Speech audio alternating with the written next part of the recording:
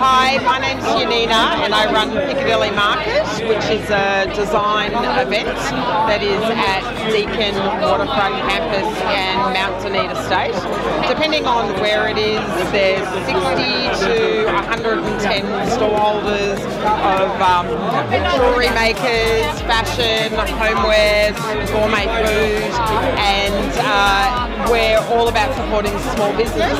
We run five times a year and you can uh, see everything on our Facebook page uh, or website which is just piccadillymarket.com.au.